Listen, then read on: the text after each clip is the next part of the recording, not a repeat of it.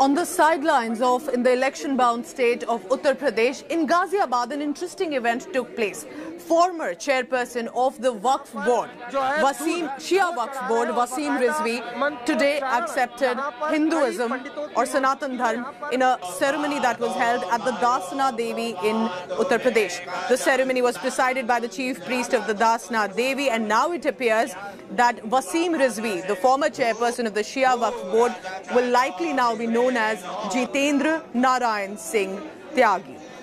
And as you can see, these are the visuals that are of the ceremony. Forehead smeared with sandalwood paste and tilak. Wasim Rizvi could now also be called as Jitendra Narayan Singh Tyagi, has now converted to Hinduism.